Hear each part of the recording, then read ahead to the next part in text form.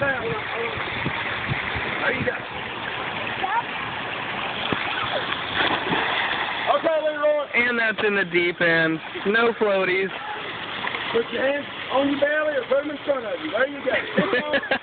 On, yeah, Hi, Daddy. that's my girl.